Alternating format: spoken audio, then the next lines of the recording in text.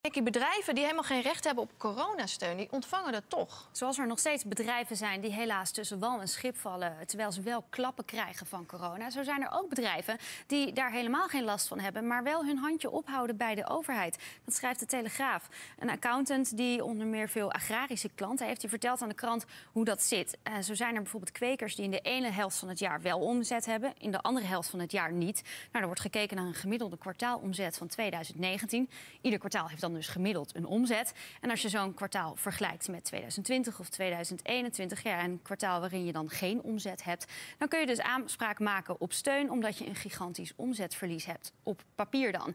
Natuurlijk het morele appel van de overheid aan bedrijven om dit niet te doen. Daar is het absoluut niet voor bedoeld. Maar er zijn dus blijkbaar altijd nog bedrijven die daar maling aan hebben. Doordat de steunpakketten snel zijn opgezet, zijn ze niet zo fijnmazig. En daardoor kunnen dit soort praktijken dus gebeuren.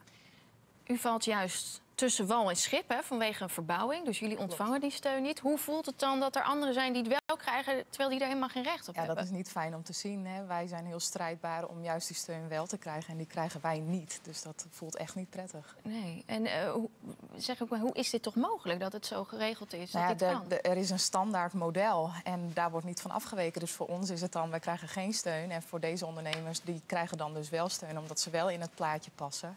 Uh, ja. Heb je er nog vertrouwen in dat er een keer wel maatwerk geleverd wordt? Want dat is wel wat we steeds horen. Hè? Van, Dat hey, we willen ik- maatwerk voor ondernemers. Dat is ook wat ik hoop, hè, door eh, ja, mijn stem te laten horen van... ja, er vallen heel veel mensen tussen wal en schip, dus zoek daar een oplossing voor. Duidelijk. Verderop in deze uitzending